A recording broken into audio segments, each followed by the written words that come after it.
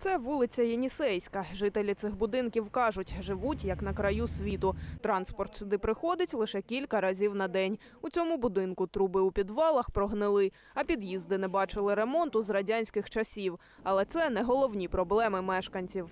С мая месяца нет горячей воды. Мало того, что у нас, э, так как раньше мы были подключены по э, энергоснабжению к алюминиевому заводу, и когда он э, перестал работать, то нам в срочном порядке прямо вот тут во дворе этого дома построили котельную. До котельной тут 50 метров.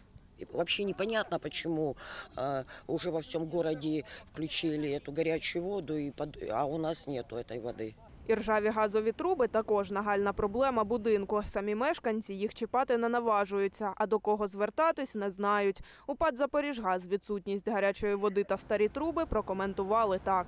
Компанія Запоріжгаз не відключала блакитне пальне цій котельні. Що стосується е, балансової належності газопроводів, то згідно ДСТУ точкою розподілу є вентиль або кран е, біля будівлі.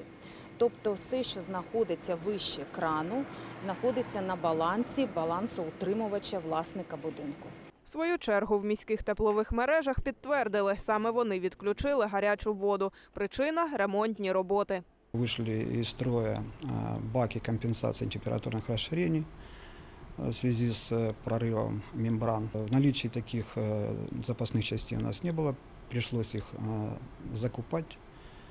Вот, э, на сегодняшний день эти мембраны восстановлены. На момент виходу сюжету котельню вже запустили, але у теплових мережах кажуть, з гарячою водою ще можуть бути перебої. Приступили там к реализации планов инвестпрограммы по а, внедрению частотного привода на сетевых э, насосах. Котельная работает э, в тестовом режиме. То есть для того, чтобы еще наладить эту систему частотного привода, возможно, будут какие-то кратковременные остановки, но уже остановок а, таких э, продолжительных быть не должно.